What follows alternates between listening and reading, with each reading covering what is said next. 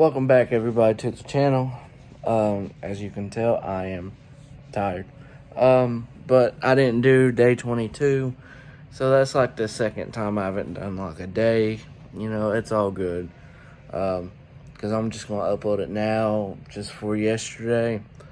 Um, talk about the games and UFC 270 that I did watch.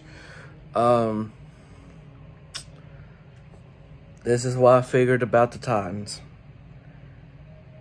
If you contain Derrick Henry, which they really stopped him for most part, his longest run was nine yards. Um, if you contain him like that and make Tannehill try to beat you, Titans are not going to win most of the time. That happened today. Cincinnati didn't really look good. Uh, allowed, I don't know how, they allowed like nine sacks, and they they still won. allowed nine sacks, and my problem with that is Kansas City, Buffalo, they're going to have pass rushers just like the Titans, maybe even better. That's going to destroy that offensive line if it if it don't start blocking. Um, so I'm just saying. Um, Packers and 49ers. Did we see the last game of Aaron Rodgers in Green Bay? I will tell you, I do believe we did see the last game. Now, I might, uh, that was irritating me. I might be wrong, but I think, I know this sounds strange, but don't put it past him to go to the 49ers. I know he lost to him, but that's where, you know, that's where he's from. So I'm sure he wants to retire somewhere like that or just somewhere that has good weather and not, excuse me, not in the cold. Um, the Packers' offensive play calling after they scored on that uh, that Dillon touchdown was terrible. Absolutely terrible. Uh, so special teams. I'm surprised the special teams coach has not even been fired yet before all this playoffs or anything because he's been terrible this season and it showed today with a blocked punt that basically changed the game around for the 49ers easily so San Fran wins moves on to the NFC championship game and they will meet either my Buccaneers or the Rams, and we will see about that tomorrow. Let's hope for the best, especially for me, and Bucks win. Now let's talk about UFC 270. Um, I'm going to talk about this quickly because I am tired, as you can tell. I already said it this second time I'm saying it, but you can tell in my eyes. Um,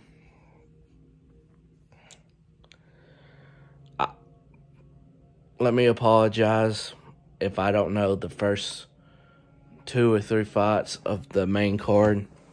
Um, the people's names, I apologize. But they were actually fun fights, but they were quick. You know, quick, quick. But they were fun fights.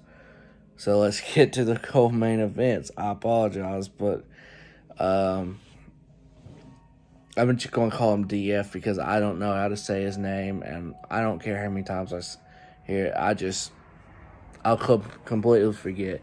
And then we've got the first uh, Mexican champion in Brandon Mor uh, Mor Moreno.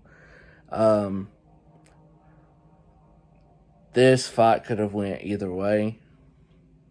We got a new champion here. Um, I thought he was going to win. Uh,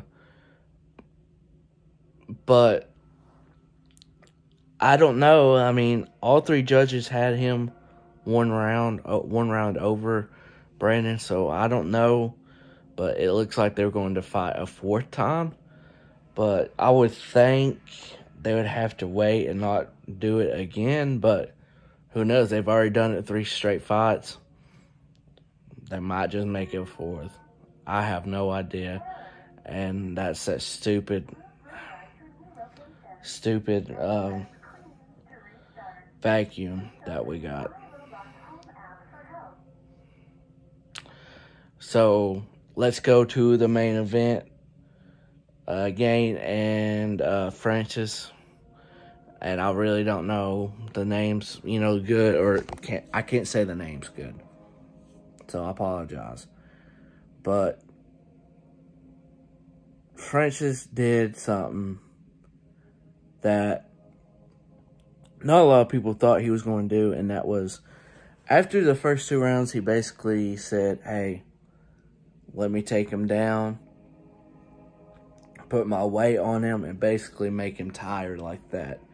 And that's what Francis Ngannou uh, did, and uh, he won this fight mostly because that what was impressive was on round five uh, when he took him down. Um, Gane uh, reversed it, tried to get a heel hook to finish him, and Francis looked. He was on his back and he flipped like kicked it like kicked him off and like took over and was on top of him and everything and just flipped it like that.